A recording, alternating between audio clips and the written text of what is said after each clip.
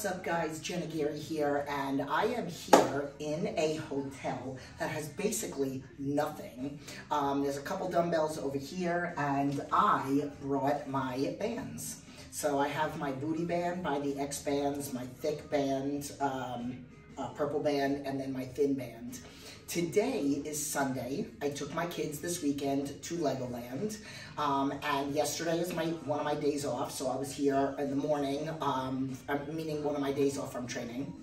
Um, so I woke up early to do emails like I do every day, and then I came over here, I rode the bike, and I walked on the treadmill, and that was it. And we walked around Legoland for eight hours, um, and then uh, today is my accessory day. So it actually works out perfect because I don't really need a lot of weight.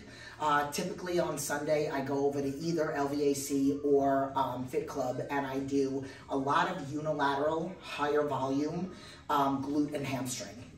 So today, um, that's what I'm gonna do. I'm gonna show you guys how you can utilize bands and tubes in a gym that doesn't have a lot of access or if you are working out at home. Um, now, I will be very honest with you because I like to throw truth bombs out there as much as possible. Um, I am praying right now that nobody comes in here. Nobody was in here yesterday, but um, it is 5.30 in the morning. I literally got up at 3.30, did about an hour of emails, ate my pre-workout meal at 4.30, and now it's 5, well, a quarter to 6. Um, but here's the thing. A lot of girls think that they can build their butt with a lot of bands and kickbacks and cable kickbacks and all that other stuff. And I, I made a video a while ago about the truth about building your glutes.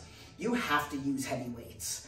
Um, you don't have to, and like, here's the thing. I don't show what I do so that you can say, oh, well, I'm never going to have a butt like that because I'm never going to be able to lift 450 pounds 12 times.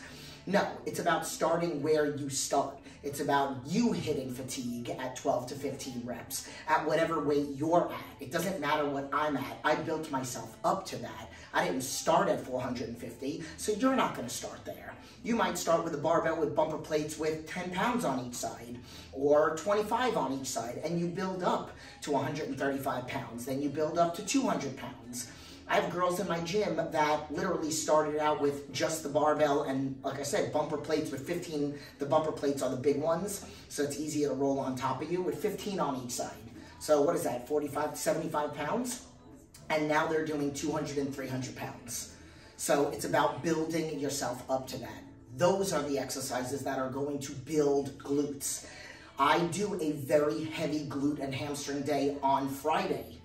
And then on Sunday, I do my accessory work because I like to hit legs three days a week, but I don't want to go crazy heavy on all of them. I do heavy quads on Tuesday, heavy glutes and hamstrings on Thursday, I mean on Friday, and then um, I do my accessory work. So, I don't have a camera person, I have my tripod, uh, so I'm gonna be setting it up and kind of showing a bunch of little things. I'll just throw some music on in the background, and then you guys can see. I might do a little talking through some of the movements, but let's get to work. Uh, usually what I do over at the gym is I either start with leg extensions um, or single leg curls. So I might do that. Um, and then I go to the cables. So we'll start with those two exercises. I'm gonna show you how you could do a seated leg extension with a booty band. Okay, so let's. I'm going to use this chair because I'm using the bench as my tripod. So here's how you do this exercise, okay? I'm gonna sit this way so that you can see.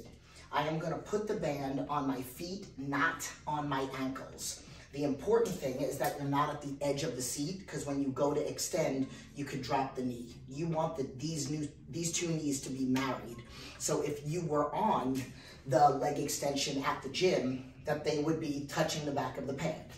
Okay, so what you're gonna do is you're gonna sit really close to the edge, drive this foot into the ground, and extend. Okay? I know I don't have a camera person to come over here and show you my quads, but they are clearly activated. You're even working a little bit of this hamstring to hold the band down, okay? So I'm gonna do, let's just pretend that I'm at 15 or 20, okay? And you can go with a heavier band. You could start increasing the weight if you want to. So add a thicker band. So I, I do have thicker bands, but I left them back in the room. I just wanted to bring a couple um, to do my demonstrations.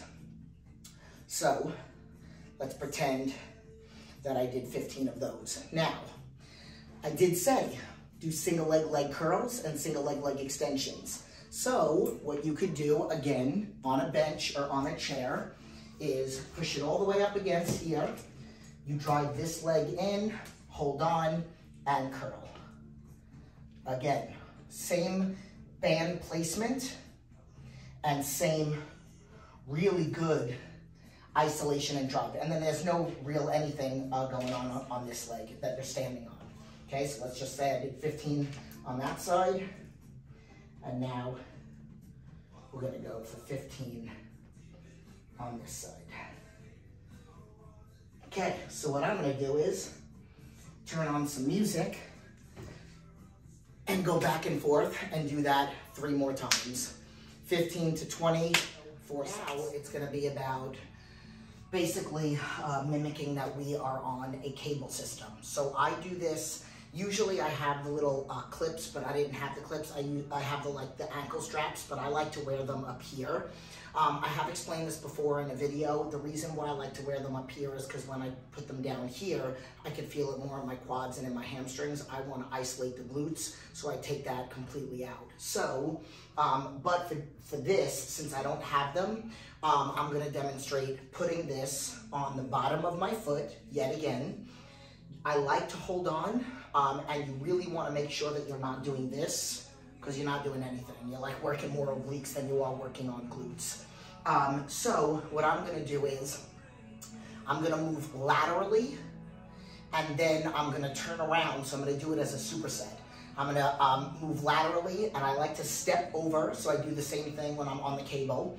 Um, and then I'm gonna turn around and you'll hold on. So if you have the cable system, you can hold on here. So I'm gonna hold on to this dumbbell, make sure I don't move my body. I did say I was gonna step over, and I'm gonna kick out laterally. Notice how I'm not moving anything but my glutes, but my leg, right here, okay? Keep those abs nice and tight. Let's just pretend I did 15.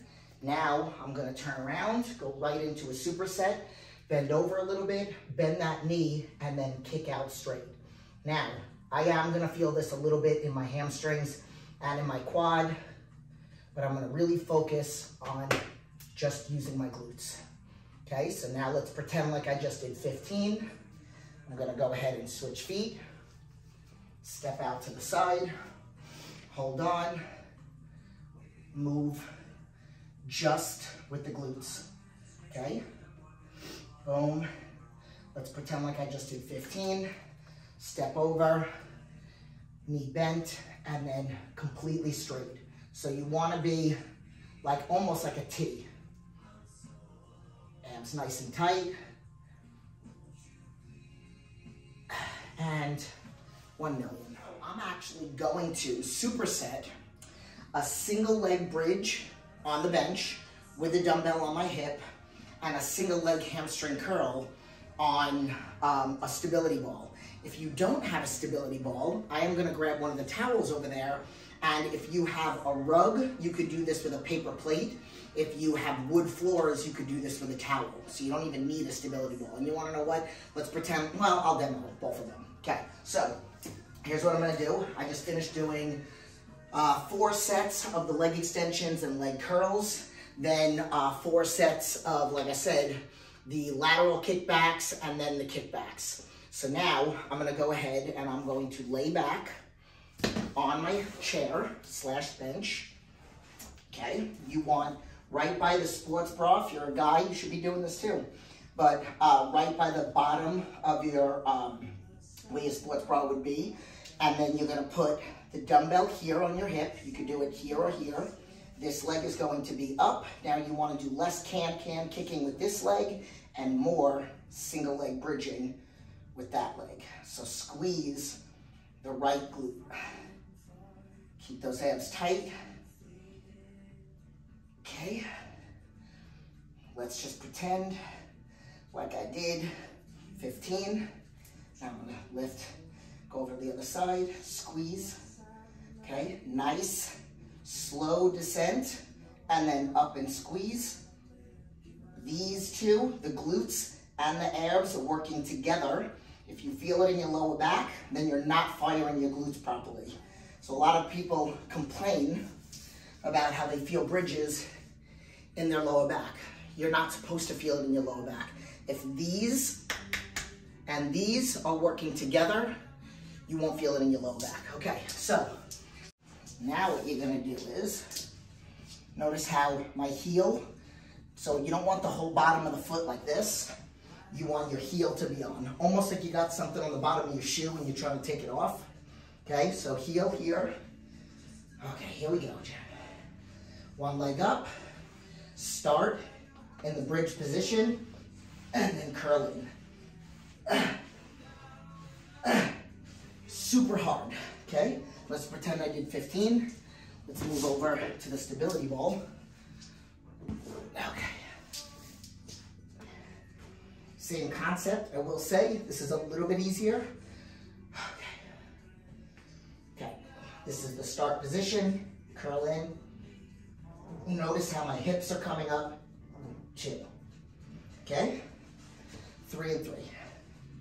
That's your demonstration. So I did also want to say, not everything has to be unilateral. So you can do double leg bridges and double leg hamstring curls. So I'm gonna go ahead and demo that, okay? So I'm gonna turn to the side so you can see. Grab my two dumbbells now. Hold on. Oh, and if you wanna add a little extra flavor, you can do some bands. Okay, so let's add this. Okay, I'm gonna put this right at the top of my knees. I'm gonna go on the corner of my bench. Okay, I'm gonna grab my two dumbbells. You can put them here like this or like this. And now, what you can do is, if you have a heavy enough band, basically what you wanna do is, you want the feet to be wide enough where you actively have to hold the, the, the, knees out so that they're in line with the ankles, okay? So if you were to relax them, the knees would come in. So keeping tension on the glutes, even you don't even have to. You can add like a little band open at the top of the movement. You can do that if you want to, okay? So you got your double leg bridges. Again, squeeze like you're picking up a marble. Keep the abs nice and tight. Again, you can keep the band on. And I'm gonna go right to hamstring curls on the stability ball, but now double leg. Okay, so here, and now notice when I curl in that my glutes come up, okay? So I don't want you to do this. Yeah, you're still working your hamstrings, but really focus on glutes and hamstrings. Pull in and up. In and up. Abs tight.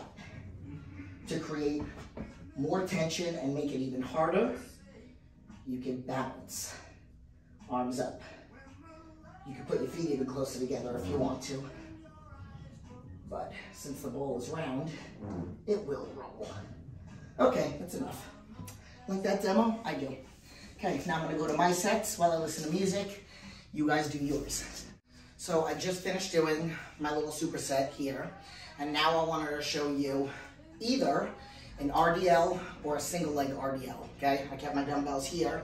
So RDLs, uh, and I actually should have set up the purple band, um, but I'm not gonna do that. Okay, so basically what you're gonna do when, when you're doing your RDLs, your Romanian deadlift, okay? You're gonna keep your chest up, pinch the shoulder blades back. You should feel this a little bit in your, in your lats if you're doing it properly, okay? You're going to push the butt back.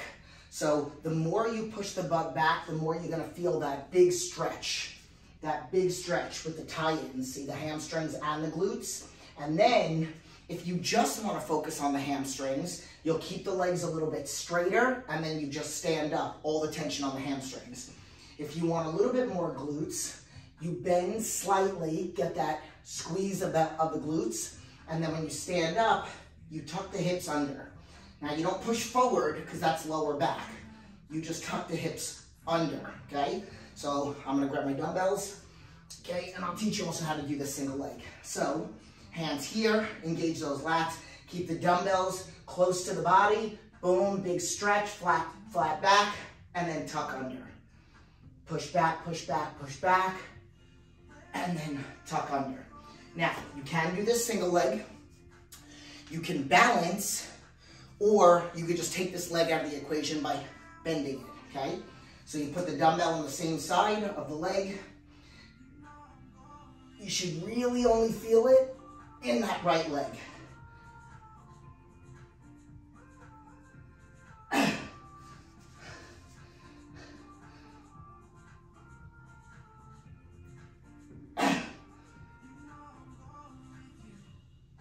Be honest with you, I don't know why I'm holding my arm out to the side. Because I'm not balancing. If I was, then I would need to balance. Let's just say if I was gonna do that. But I personally feel like I don't wanna waste any time trying to balance when I'm really just trying to focus on isolating that glute. Now, I think I want to show this to you, but I have to find something to hook it up to. I just grabbed the mat because I'm gonna do a superset for you. Just decided this at the last minute. So notice how I now have my really thick purple one that I showed you guys in the beginning that we haven't used yet. So the RDLs that I just showed you, you could add a little extra flavor to them, okay? I'm wearing socks right now and really praying that I don't slide.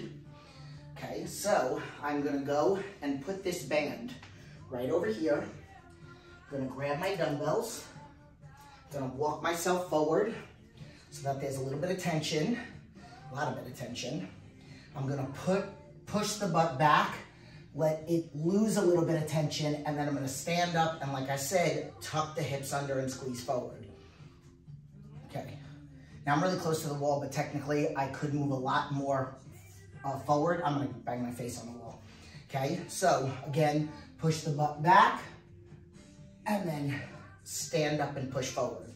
Now, let's just pretend like I did 15 of those now I'm gonna move really far forward, hold my feet in a frog position, and I'm gonna do banded glute squats as a burnout.